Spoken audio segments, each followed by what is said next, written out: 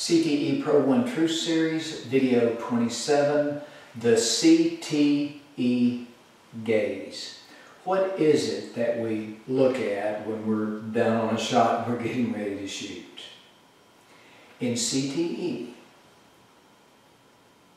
what you really look at, what you truly look at for the target is the center of the cue ball. There is nothing to look at on the object ball. Now, I want to clarify that just a little bit further by saying there's nothing to focus to on the object ball. You can look at the object ball, but there's nothing to focus on. Our cue ball placement for today is at one, the one diamond, two diamonds intersection, and the object ball is one diamond up and a third of a diamond over. Now, I'm assuming that many of you worked with the Truth Series already, and many of you have worked with my uh, book lessons already. I'm going to use basic CTE and disguised pivoting for conveying to you what this CTE gaze is all about. Now for basic CTE, for this right cut 15 degree perception, uh, it takes an outside pivot to solve this shot to center pocket. Now, when I fall down on this shot in basic CTE, my left eye, my outside eye is going to be dominant for seeing the perfect sight line, which defines the perfect perception. My left eye is dominant for looking at the outside edge of the cue ball, for stepping the uh, cue ball to its Nissl center. Now, when I pivot, my left eye is still dominant. So when I, when I drop down, see the perfect perception and step and then pivot, my left eye is still a dominant force, particularly at this point for seeing along the Nissl. But there's a fact concerning the Nissl that you should be aware of, and perhaps you already are.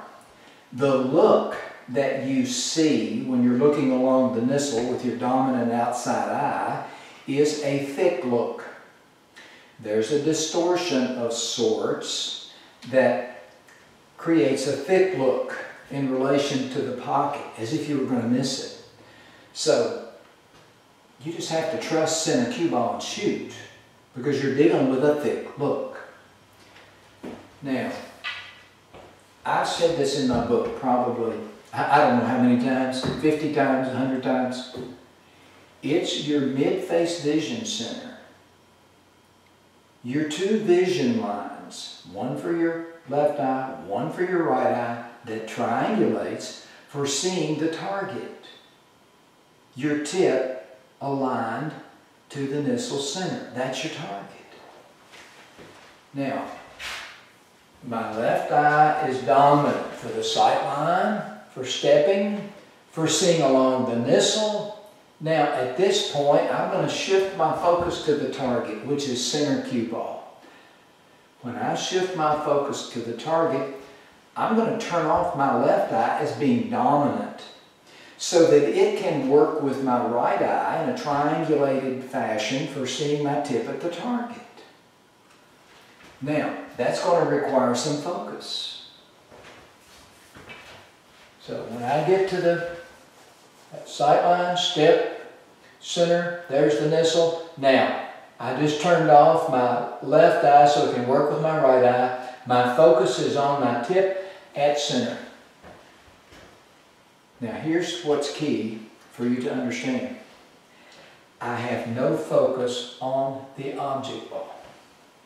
I can look up at the object ball but I'm not focused on anything. I'm not focused on a contact point, uh, a ghost ball, or a, or a fractional aspect of the, uh, of the object ball, or a sight line, or parallax, or anything like that.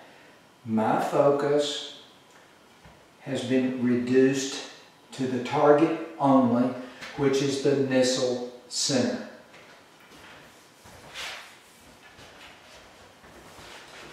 So, left eye is dominant for the perfect perception. Step the cue ball, pivot to center. I see along the thick Nissl. And now, I'm going to switch over to my mid-face vision center. My focus is solely on my tip at center. So if I look up at the object ball, I am not focusing on anything on the object ball. It's only a gaze. So why do we do that? By engaging your mid-face vision center for seeing the target in the manner that I described, you automatically filter out the thick looking distortion that you get from looking along the Nissl. That's what the CTE gaze is all about. So, perfect sight line, step the cue ball, pivot to center, there's the Nissl, switch over to my mid-face vision center. Now, that's where all my focus is. So, not only does my mid-face vision center focused at the target in such a way that when I look up at the object ball, it not only filters out the distortion, it reveals to me the perfect shot picture, which is something that's important to me. I'd rather see a shot perfectly minus the distortion given a choice. So what I'm teaching you here is how to use your left eye for the jobs that it does as a dominant line, a dominant vision line, and then how to switch over, how to be aware, tuned in to the fact that now your two vision lines are dominant for the task of seeing the tip at center. Now for disguise pivoting. I love basic CTE. I cycle a lot with basic CTE between that and disguise pivoting. Disguise pivoting is a result of having done a lot of basic CTE to where you just fall right into the Nissl. You fall right into the Nissl center. I mean, it, it's, I, I, don't, I don't like using the word feel because it gives connotations that I'm not always, uh, you know, pleased with, but it's like feel on steroids. So, I, I have two ways to fall in on this shot using disguise pivoting.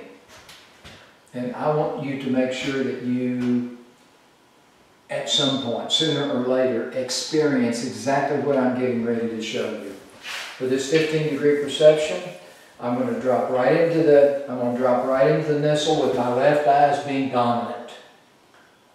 Which is okay, there's nothing wrong with it. It's just that I do get a little bit of a distortion. A distortion in the form of seeing a thick relation to the pocket. Or I can fall into the shot like this. I can fall right into the shot with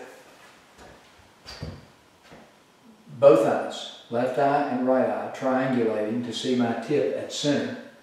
And all that's left for looking at the object ball is a gaze. A gaze that is minus any type of focus to be on anything. There's no focus on a sight line, a contact point, a ghost ball, a parallax line. It's just a gaze that gives me a perfect shot picture minus the distortion. So, I can follow on this shot with my left eye being dominant for seeing the Nissl. Or I can follow in this shot with my mid-face vision center being dominant for seeing my tip at the target, which is center cue ball. That's the CTE gaze.